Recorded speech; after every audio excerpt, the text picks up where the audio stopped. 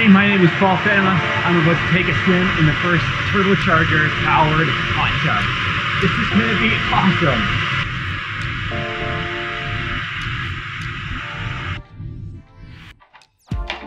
It all started last summer when we bought this stock tank pool. Like good millennial parents, we thought it'd be pretty sweet to have a place to splash and play, and they are fun, but they're just cold. We tried a bunch of stuff, including this heat exchanger on top of a fire to try and keep it warm. It just wasn't working.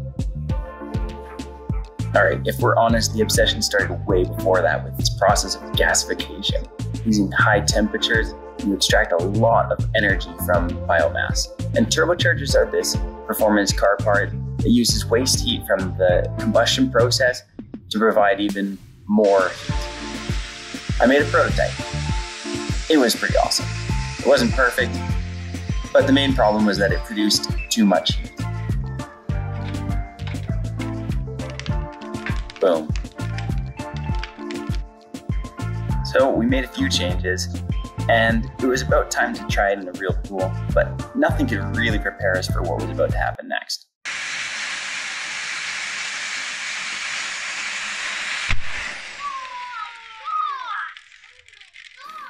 I might not have mentioned it before. Essentially, this is a jet turbine engine running off of wood. It's submersed in water. There's a ton of engineering challenge, challenges, but one thing I didn't really account for was the amount of pressure that would be built up. Eventually, I found this pressure cooker from this thrift store and rebuilt. I added a bunch of safety features, including this blow-off valve from a water tank and an exhaust, as well as a pressure gauge. I spend a lot of my free time in the winter fine-tuning the machine and getting it to work perfectly.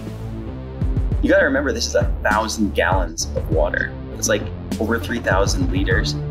I can get it from cold to hot in a couple of hours. That's a lot of BTUs being put out. Eventually, I felt confident enough that my kids could come join me in the pool without fear of an explosion. One thing I do want to see again, though, is that explosion.